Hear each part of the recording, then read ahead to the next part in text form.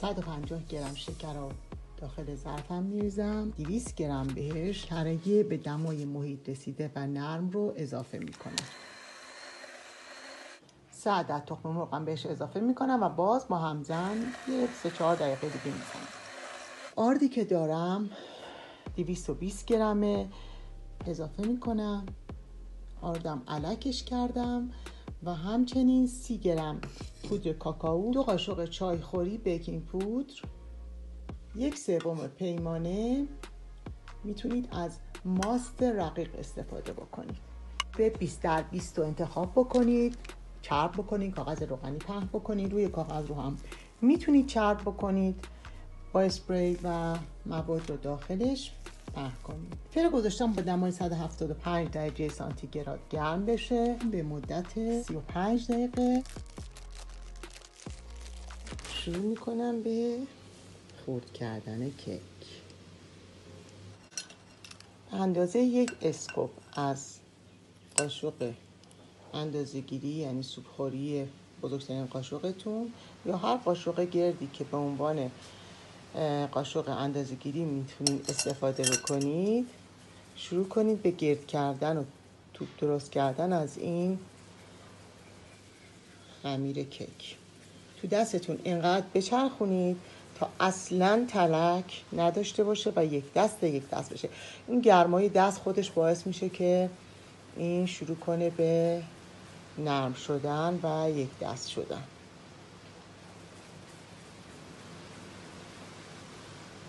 اینا کنید و بذاریدش کنار تا مرحله بعد.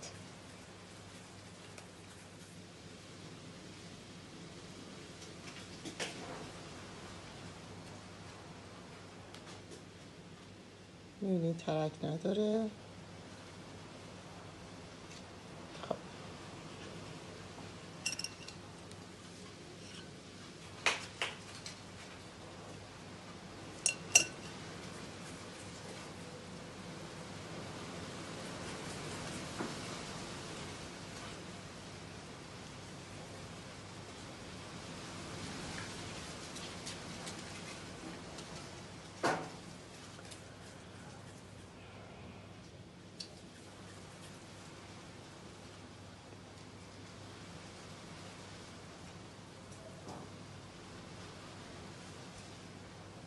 اینا رو آماده کردم می‌ذارم کنار تا برم شکلات رو ذوب کنم.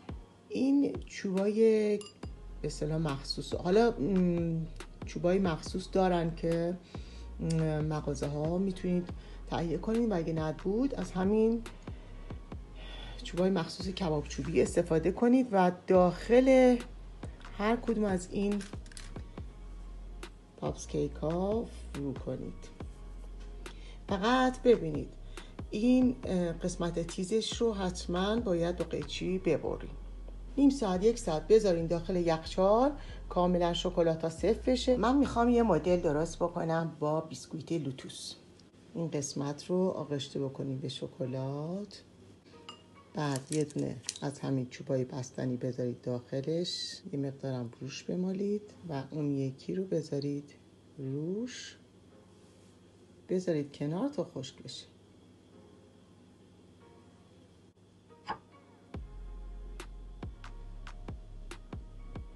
بیسکویت اوریو می‌خوایم انجام بدیم. چوب بستنیمون رو داخل شکلات قشنگ فرو می‌کنیم. بعدش هم این کرمش چون خیلی خوشمزه است و می‌خوایم داشته باشیم طعم نعنایی هم داره این رو آروم داخلش قرار میدیم. می‌ذاریم کنار تا خوش بشه. و خودش رو بگیریم. اومدم با چند تا ایده خیلی خیلی جذاب و خوشمزه هالووینی.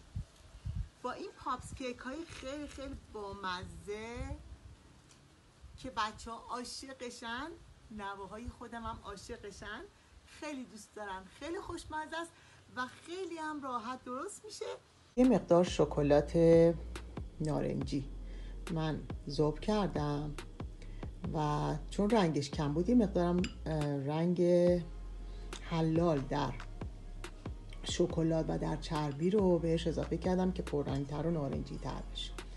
حالا این پاپس کیک ها رو داخلش فرو می‌کنم و همه جاشو آقشته می‌کنم. وقتی که آقشته کردین باید اینطوری ضربه بزنید. حالا یا با دست به دستتون یا به ظرف که شکلات های اضافیش بریزه. و بذارینش. حالا یا روی صفحه سیلیکون یا کاغذ روغنی یا فوی که خودش رو بگیره و خشک بشه. من از اسمارتیز استفاده می‌کنم. یا اگر از این چشمای خوراکی دارین می‌تونی از چشم استفاده کنی. نداشتین از اسمارتیز یا اینکه فوندانت. یه مقدار شکلات بهش بمالید. شکلات هم رنگ خودش. می‌خوام با رنگ بسیار زیبا و خوش رنگ بنفش. این پاپس کیک رو رنگامیزی کنم توجه داشته باشید اگر که از شکلات های رنگی که در اگر در ایران وجود داره البته ایرانیاش منظورمه. استفاده کردید به هیچ عنوان نمی‌تونین یک یه همچین مایه ای رو داشته باشید به این روونی و به این خوبی. بنابراین باید مقداری بهش کوکوباتر اضافه بکنید که باعث رقیق شدن شکلاتتون بشه و یه شکلات خوبی به دست بیارید.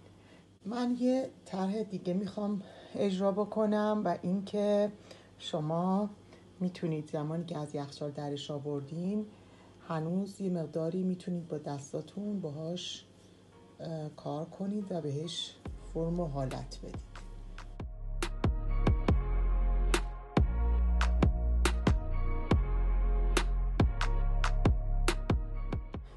خب حالا داخل شکلات سفید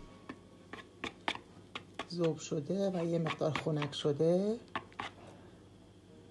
فرو می‌برم معمولا شکلات های سفید پوشششون کمه.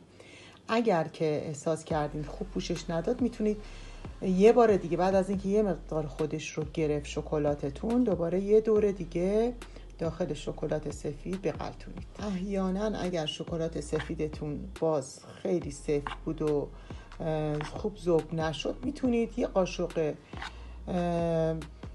غذاخوری بهش روغن مایه هم بزنید. می‌تونید از ترافل ها و شکرهای رنگی هم برای تزیین استفاده کنید. شروع می‌کنیم به گذاشتن چشم و دهن و از این چیزها یه مقدار شکلات سیاه و ذوبش می‌کنیم. حالا یا با قلموی خیلی نازک یا با چوب خلال. من اینو شکل روح یا گوست می‌خوام در بیارم؟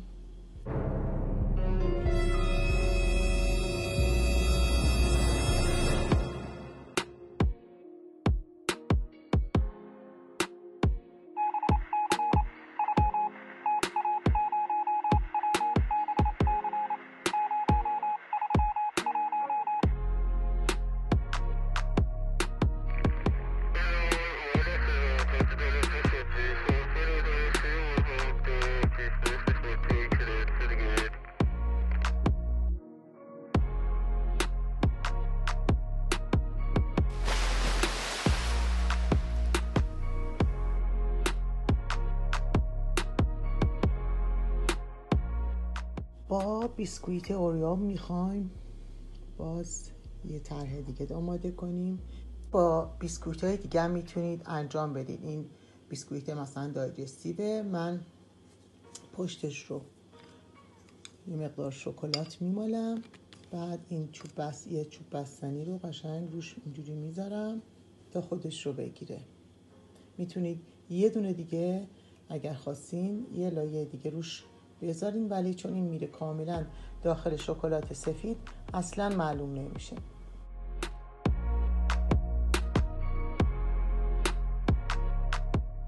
من یه مقداری با فوندانت چشم درست کردم و این قسمت های سیاه هم که می‌بینین تخمای چشم که درست کردم با ماژیک خوراکیه یعنی قابل خوردنه.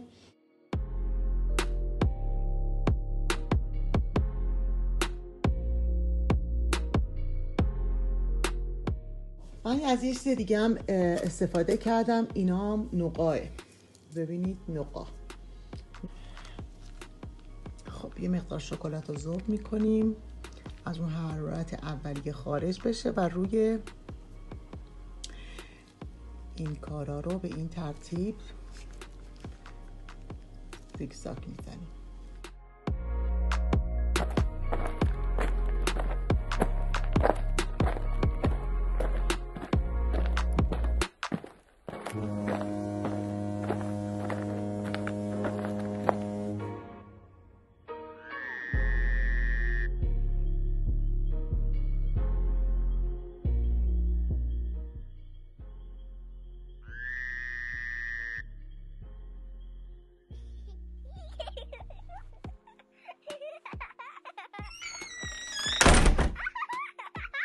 Yeah.